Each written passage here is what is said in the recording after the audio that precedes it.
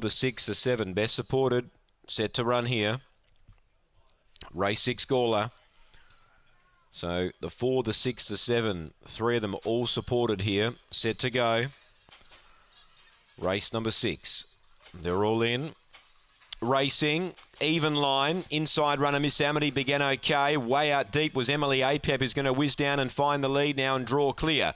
Three or four on Miss Amity. Clever Man the rail, deep out Wreck Master. Then came Alinga Lily. Well back then was uh, Jamie Lannister and Ackles is out the back with black boots up towards the bend. Leader Emily Apep. Clever Man's absolutely roaring home. Clever Man.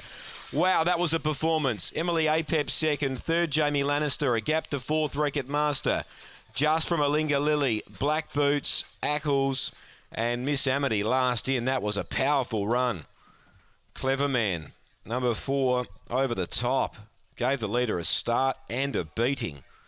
Emily Apep had at least three or four up its sleeve. But Clever Man has charged home to get up.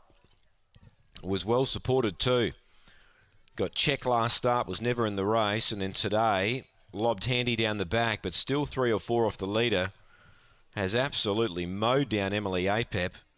Six is third, Jamie Lannister. And number five is fourth, Wreck Master. So 4, 8, 6 and 5, 23, 15 the run. 4, 8, 6 and 5 after race number 6 at Gawler. Clever man. He wins by three quarters in the end. He was running away by two and three quarters between second and third. It's 4 8 6 and 5, 23 15 the run, and that was uh, one of the wins of the day. 4 8 6 5, race 6 at Gawler.